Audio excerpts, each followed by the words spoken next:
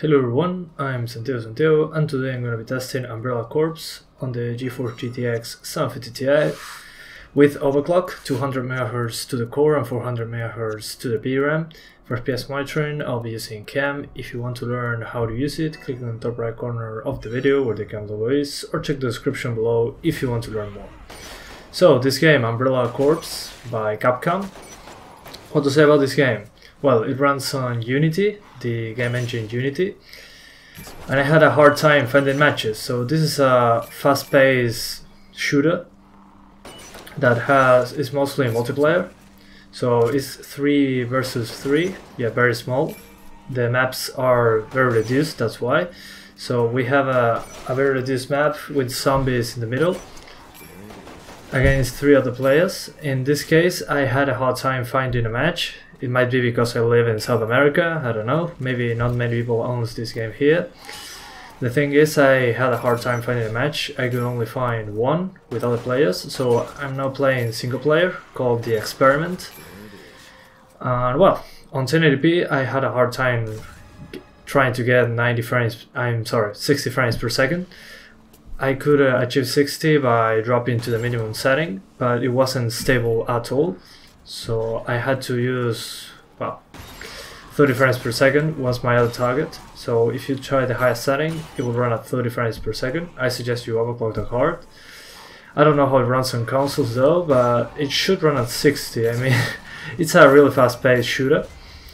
So my suggestion is play at 900p. I'm going to switch to 900p now. Okay. So as you can see, 900p shadows on standard, occlusion on standard, and I turned off real-time reflections, turned off motion blur, and kept other things on, on the medium preset for the most part. There are not a ton of options, but it's the closest I could get to 60 without losing much quality. If I lower mo more settings, it will be a little more stable, but stable 60s weren't possible for me in this case. I'm still playing single player here, as you can see, it's kind of a mercenaries mode, but worse than Resident Evil Mercenaries. The game is fast paced, as I said, so I suggest playing at 60. At 30 is very hard to aim. I suggest you just play with a controller. In this case, it's hard to aim with a mouse and keyboard. I don't know what's going on with that. But hopefully with some patches the game runs better.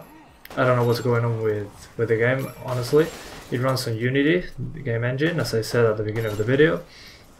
But I don't know, I had a hard time trying to get 60 frames per second. For some reason it's hard to achieve. I don't know really what's happening, but to get the best performance just turn off reflections, I mean occlusion, which is called occlusion, and keep shadows on medium whenever possible. And for the most part it's it's been fun. I mean I played a couple matches that, that I could join and the game was fun really short bursts of matches. I mean, the matches are 3v3, so nothing, not much people to kill at all. It's an interesting game, it's weird, but uh, I don't know. Those are my first impressions. In my opinion, it's not worth $30 whatsoever. Wait for a sale if you want this game. And if you wait for a sale for this, wait for players to, well, more people to play it. 720p highest setting, worked just fine. I here's when I found a multiplayer match. As you can see, I'm using I'm playing the Resident Evil 5 Majini Village, and I have to say the maps are pretty pretty awesome. I mean, we have maps from Resident Evil 4, 5, uh, and some others, and they are very well done in my opinion. The Resident Evil 4 maps and Resident Evil 2 maps bring back some memories from the previous games I enjoyed. Uh, but yeah guys, I don't think this is worth $30 unless they patch it and have better matchmaking, I don't know. I don't I cannot recommend it for now since I couldn't play it that much. So those are my very early first impressions. There I died as you can see. so here's the other thought. So this is one life. So you have one life, 3v3, so it's a very short match. Okay guys, my suggestion, wait for a sale, and if you wait for a sale and are considering buying it, make sure that there's still people playing it. I mean, this is one hour after the game was released, and I'm in South America, so that's maybe why I didn't get to play online with a lot of people. I just found a couple matches, nothing more, and I've been playing for an hour.